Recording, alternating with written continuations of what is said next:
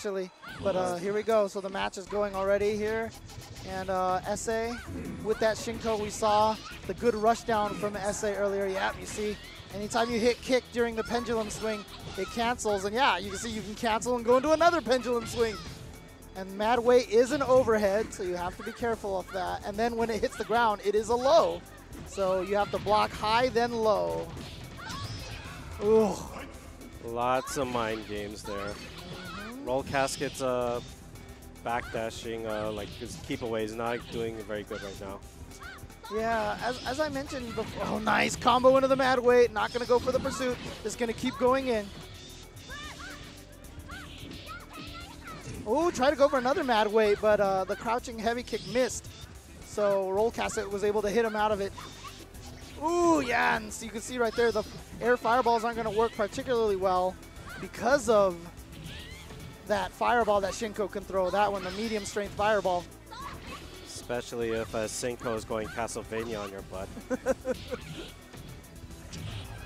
you can definitely see that Essay's goal is just to get in close and do lots of mad weights. I mean, it's a really good tactic. Oh, and throws the hammer and gets the stun. That is unfortunate.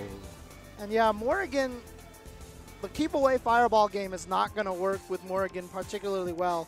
She has to rush in, do the instant dashes, go for instant overheads, and uh, use the fireball just sparingly. But it's very easy for a lot of characters to get past the fireball, especially at the very, very high angle that RollCaskett is throwing it at. Nice dash up command throw. Yes, Hsien-Ko does disappear and turn invincible for a little bit during the dash. Oh! Well, she is a ghost after all. Fair enough. Nice, and gets the sweep.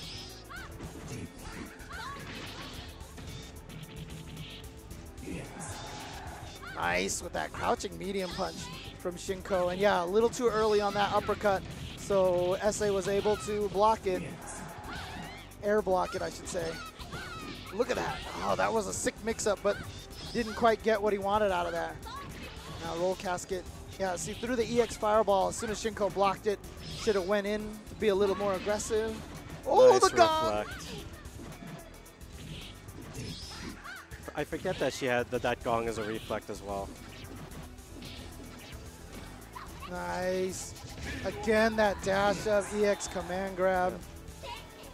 And Essay takes it against RollCaskett. That's right. Well, Essay's going to stay on, and he's going to be going up against uh, Easymorn, who we just saw defeat Psycho Chronic.